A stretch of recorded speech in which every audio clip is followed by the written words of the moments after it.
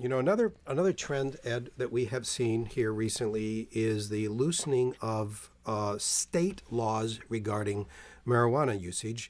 The problem is that that puts some of those laws into conflict with federal laws on marijuana. Some action in the Congress this week in trying to deal with that. Bring us up to date. That's right. Senate Judiciary Committee held a hearing to sort of discuss where federal and state uh, marijuana laws kind of are at issue uh, or, or in conflict with each other. Washington State and Colorado, of course, have now legalized it in certain cases.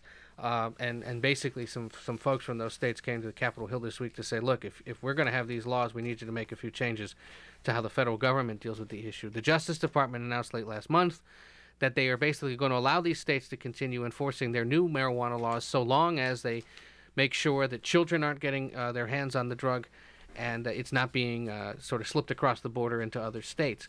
But there are a, a, few sort of notable little issues that have to be sorted out. Among other things, that apparently some of these marijuana companies can't get bank accounts because there are restrictions at the federal level on, on, on drug dealers or those that sell drugs legally being able to uh, open a bank account. So the Justice Department said they will look at that within existing legislation. Bunch of lawmakers, whether it's Patrick Leahy, who's the chairman of the Judiciary Committee, uh, others who have legal backgrounds, have said, you know, we've got to find a way to pull back because so much of the prison population these days are people who, you know, for either minor or major drug offenses are there, and in many of those cases probably don't need to be. We've seen pullbacks in Virginia, New York, other states have been talking about it as well.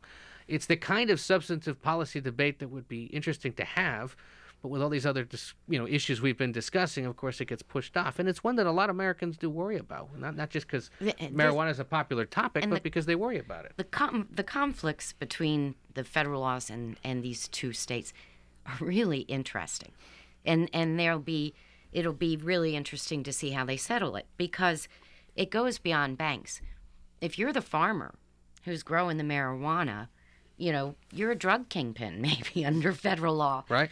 if you're the landlord where the store that's going to sell it, you know, you could be charged with racketeering and, you know, drug trafficking under federal law. So there's a lot more than just the bank account that uh, is complicated by these two different sets of, of laws.